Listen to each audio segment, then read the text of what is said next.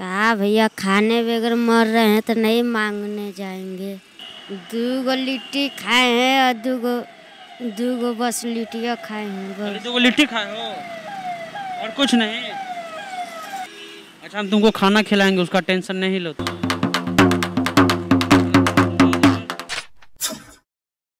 अभी हम पटना के सड़कों पर हैं, संपूर्ण लॉकडाउन लग गया है तो जो मांगने वाले हैं उनको भी दिक्कत आ गई है। बच्चा बजा रहा है। कहाँ घर है बाबू? सोनभद्र जिला यूपी में। यूपी? तो यूपी से पटना में क्या कर रहे हो छोटू? फंस गए हैं मांगने के लिए। हाँ? फंस गए हैं मांगने के लिए भैया। कौन भेजा मांगने के लिए? फंस गए हैं मांगने के लिए। हाँ। नाम क्या है? सोनू। हाँ? सोनू। सोनू। सोनम। क्या नाम है? सोनम। सोनम। लड़की हो। लड़का हो। सोना नाम है। सोना। पापा पापा मम्मी कहाँ है? Papa mummy? गया है वोट मारने तो ये मांगने का काम कब से कर रहे हो? अब ये हाँ? बिना से कुछ खाए हो? बिना से कुछ खाए हो? क्या खाए हो? दो गो लिट्टी खाए हैं और दो गो दो गो बस लिट्टियाँ खाए हैं दो लिट्टी खाए हो? और कुछ नहीं। पानी उनी पिया है? हाँ? हाँ पानी पिए तो ये बजा के मांगते हो? हाँ। तो अभी तो पता है ना तुमको कि कंप्लीट लॉकडाउन की पूरा बंदी हो गया है। तो अभी तुमको कौन देगा? सड़क पे दिख रहा है आदमी? छोट फुट आदमी दिख रहा है जिसको काम है वही। तो काहे निकले तुम रोड पर? कहा भैया खाने बगैर मर रहे हैं तो नहीं मांगने जाएँगे। खाने बगैर मर रहे हो? अच्छा हम तुमको खाना खिलाएँगे उसका टेंशन नहीं लो तुम। ये बताओ छोटू कि यहाँ कहाँ रहते हो? पटना में? पटना में कहाँ रहते हो? आर बोलक रहते। और ब्लॉक? कब से ही काम कर रहे हो मांगने वाला बजा कर कहा भैया बहुत साल रहते हैं लेकिन बहुत साल जाते हैं।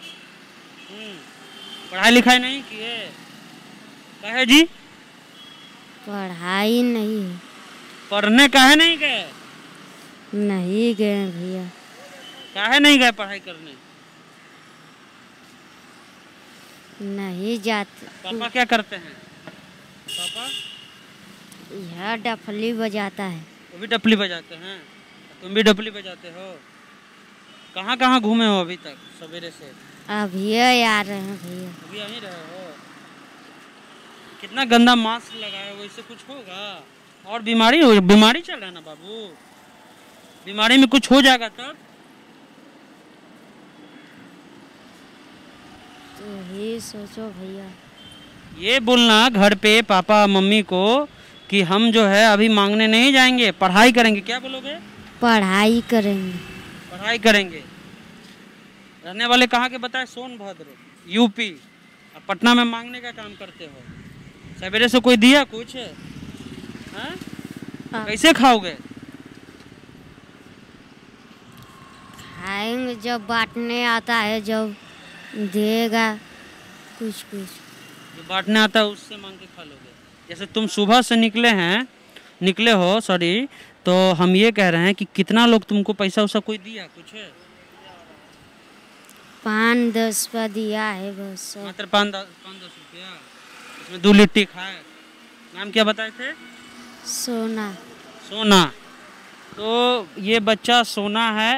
रहने वाला यूपी सोनभद्र का है लेकिन पटना में डपली बजाता है और जो है डपली बजा के डपली बजाने आता है? जी। बजाओ डपली बजाओ।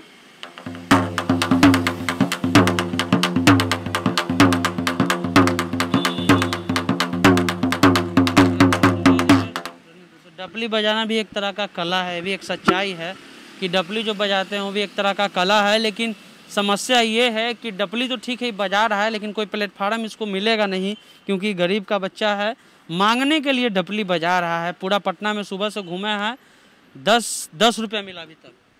दस रुपया मिला ना, मात्र दस रुपया इसको मिला है लड़का को।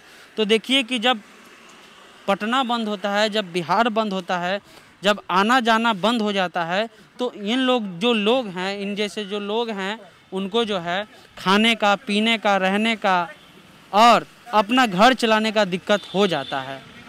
वीडियो कैसा लगा? हमारे यूट्यूब चैनल को आप सब्सक्राइब कीजिए और ऐसे ही खबर के लिए हमारे साथ बने रहिए। हम आपको पूरे पटना, पूरे बिहार से ऐसी रिपोर्ट लाला के देंगे, जो ज़मीनी हकीकत है इस लॉकडाउन की। कहे कि इन लोग जो है, वो अस्थाई निवासी नहीं है यहाँ की। ये लोग सोनभद्र, यूपी के रहने वाले हैं। न इनको सरकारी लाभ मिलेगा। लेकिन ये लोग पटना के सड़कों पर मांग कर जो है अपना घर चलाते थे। लेकिन आपको बता दें कि पटना की सड़क ही बंद है।